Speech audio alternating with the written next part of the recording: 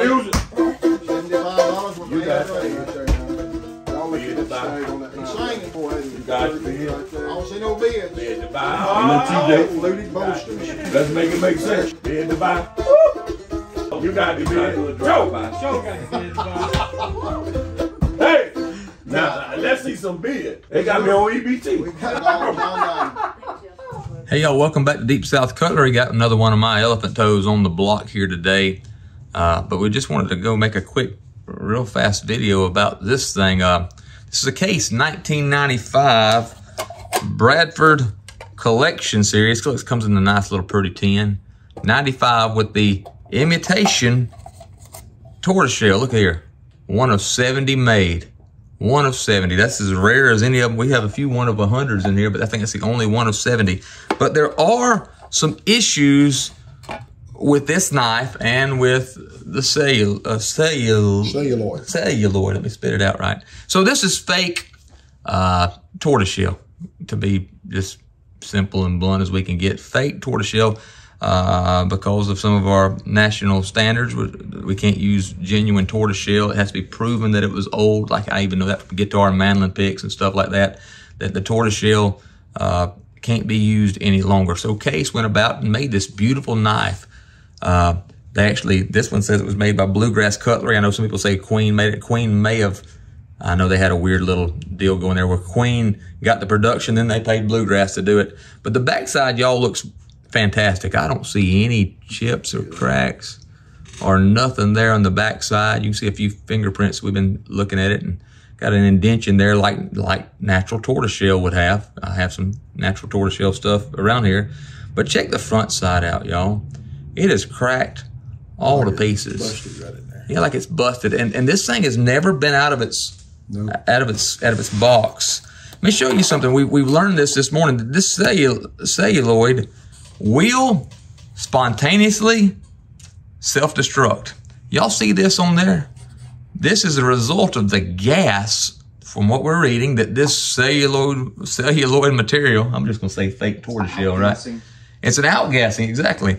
That that it, it causes the metal around it to corrode and rust. Now, when we got this thing out of the box, we bought this from a good friend of ours, and he told us exactly everything that was wrong with it. We didn't get surprised by this. But simply from being shipped from North Carolina to South Mississippi, this blade, I don't know if you can see it. Can you see that line, that blade? there. You can see the Y'all see that line on this blade? That From where it was from where it was shut, this this part right here that was that was in the knife. in the knife, was protected, yeah. This was brown as it could That be. brown up top. Where's that? Where's that cover? Right there, that cloth. That's behind you. That blue one right there. Check it out, y'all. This was a brand new sunshine cloth, and there's the brown gunk that came off of that knife with case paste. with case paste. No, nobody knows. We've read, we've studied, we've looked it up. Nobody knows why this stuff does it. But it's not just the elephant toes. Anything that case has, or any of them have, that have a celluloid material, they will spontaneously combust. Combust. Combust. that would be fun.